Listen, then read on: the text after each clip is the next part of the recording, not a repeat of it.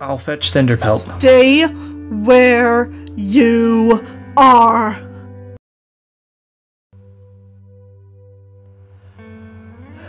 I don't know, Bluestar.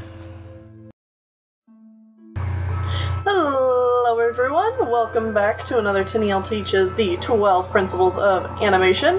We're going to talk about the animation principle today of slow in and slow out. Uh, slow in and slow out, um, or as some people like to call it, easing, is essentially the idea that things don't start and stop all at once. You need to ease in and out of actions to make them believable. So when something like like here, we'll just do a really quick example here. So let's say we want to get this line from this side of the page over to this side of the page. Now, we can do that by placing lines in between each of these uh, drawings.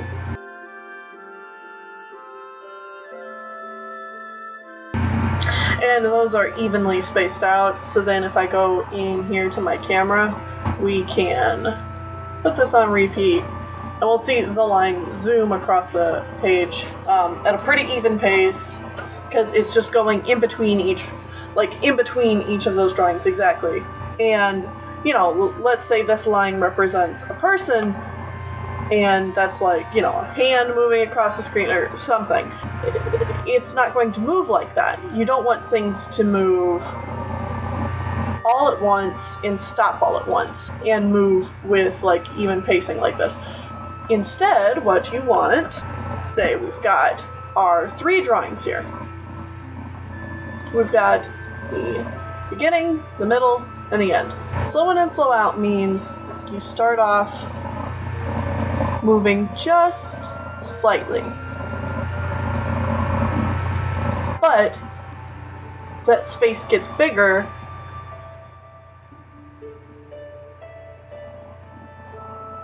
with each new drawing. So now we have the slow into the action and then we'll do the same thing over on this side where we slow out of the action.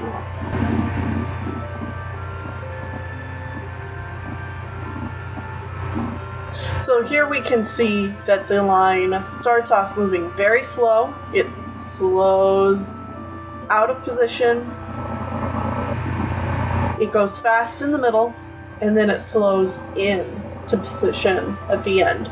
And that's just naturally how your body or anything that works in this universe would look because that's how physics works something that moves it's it's newton's laws of physics where it's like if something um, is moving it's gonna take a little while to get you to stop nothing stops all at once so, with that being said, let's take a look at my finished map parts here. These map parts needed small movements, but even in these small movements, we've got some slow ins and slow outs to their actions.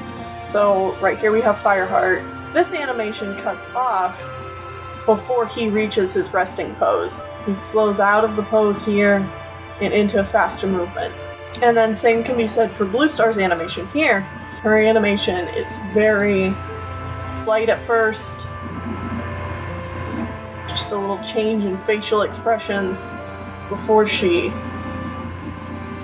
whips up and then slows into this pose.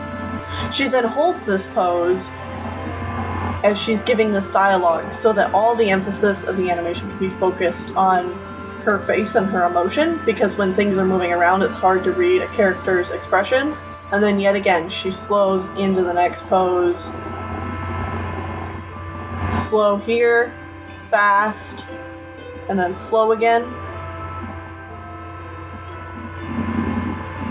I hear some nice little squash and stretch on her face as she slows out and down and then into the final pose.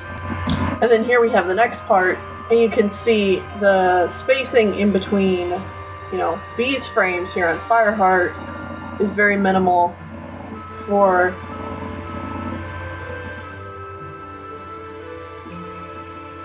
and these are very slight. And then they get a little further apart, especially like this. Further apart. And then he slows into this head pose. He holds it slow, then fast, and then ease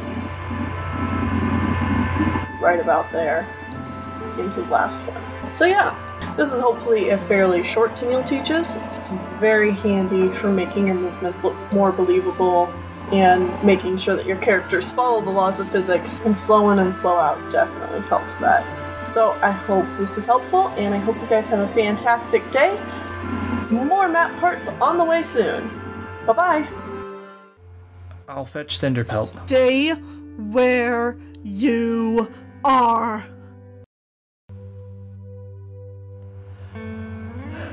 I don't know, Bluestar.